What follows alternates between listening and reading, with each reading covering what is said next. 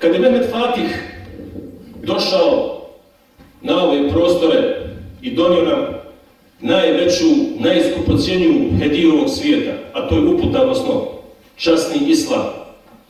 Spominje se, možda vi znate ovaj primjer, ali uvijek volim navoditi, da je usnio, kad došao u Bosnu, neću govoriti Hercegovinu, jer Bosnom se sve ovo nekad zvalo. Poslije su na nametnu razne druge granice, nazive i tako dalje. Bosna inače bila sastavljena od devet sanđaka.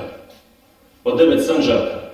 I Sarajevski, i Krajina, i Hercegovački, i Kliški sanđak koji dolaze do Splita, brdo Klijsk nad Splita, i tako dalje, i tako dalje. I Novopazarski sanđak koji je ostao zadnji pod Turskom do 912. zato ostao poznat kao sanđak. Nije to nikad bilo bosanci sanđaklije, to su uvijek bili bošnjaci. Inače, centar Hercegovačkog sanđaka je najduže bio grad Tasliđa, odnosno Pljevlja. Poslije je bila Foča, centar Hercegovačkog sanđaka, iako je Mostar uvijek bio značajan vjerski kulturni centar u Bošnjaka. Jedna od informacija možda koju niste znali. Znači, usnio je sultan Mehmed Fatih, Ebu Bekra, usnio je Osmana, usnio je Aliju radijallahu anhum ajma'in. Trojicu od četverice halifa. Nije usnio drugog, Omera radijallahu anhum. Pa je kazao svom šehu, protumači pa me ovaj san.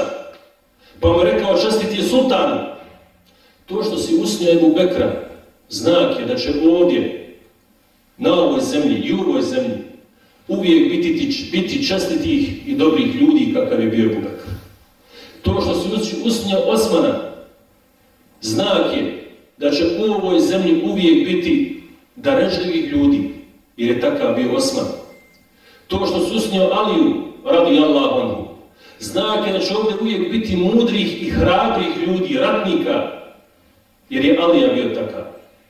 Ali to što nisi usnio Omera, znak je da će ovoj zemlji uvijek biti zuluma i proljevanja krvi bi gajri hak, jer nisi usnio Omera, a Omer je bio simbol pravednosti.